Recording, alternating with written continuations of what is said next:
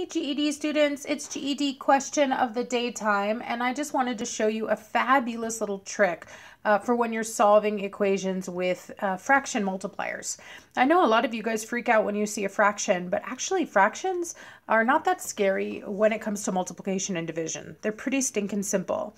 Uh, notice what I have here. This says 2 thirds x is equal to 8.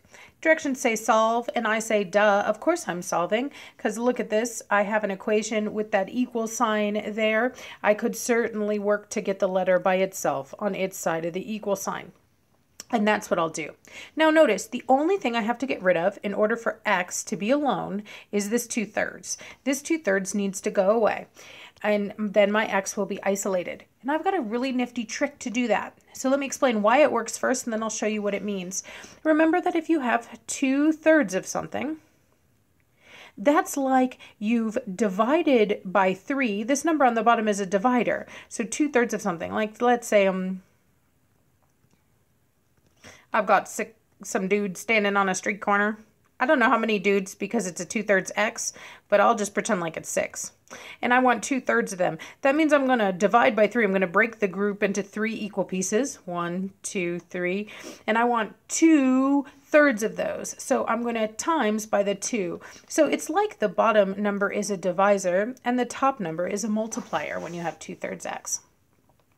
Because of that, I can get rid of both of them at the same time very, very quickly by reversing their role. Let me show you what I mean. I'm going to include this entire left-hand side here in parentheses. Right now, that 3 is on the bottom of a fraction. It's dividing. I'm going to throw that 3 on the top to be multiplying. And similarly, that 2 on the top is a multiplier, so I'm going to throw that 2 on the bottom to divide. And this number, notice it's a flip of the original fraction. It's known as the reciprocal. The flip of a fraction is known as its reciprocal.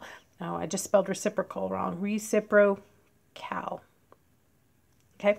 Um, it's known as its reciprocal, and it's a really nifty little trick because it'll get rid of a fraction multiplier. Why?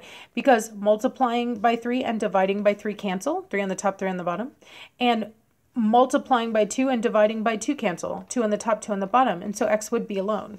Now, you can't just do whatever you feel like it, but you can do whatever you want as long as you do to both sides of the equation. Keep your balance. So what I'm going to do is I'm going to take the entire right-hand side, and just like I did on the left, I'm also going to multiply by 3 halves. As long as I balance my change and my so my two equations halves stay equal, my two sides of my equation stay equal, I am totally safe in the world of algebra. So on this side, we saw that cancellation, so my x would be alone. And on this side, I just have to multiply this fraction, 3 halves of 8. And it's super easy to multiply fractions. Um, I'm going to throw that 8 over 1 so it looks like a fraction. I'm going to cross reduce. Both 8 and 2 are divisible by 2. 2 divided by 2 is 1, and 8 divided by 2 is 4. And then I'm going to multiply straight across. Now, of course, 4 times 3 is 12. On the bottom, 1 times 1 is 1, but I know that 12 divided by 1, when you have a 1 on the bottom of the fraction, it doesn't do anything. 12 over 1 or 12 divided by 1 is just 12. And so my answer here is x is equal to 12, and those fractions weren't half as tricky as they looked. So once again, I'll say in order to get rid of a fraction multiplier, you can just multiply both sides by the reciprocal.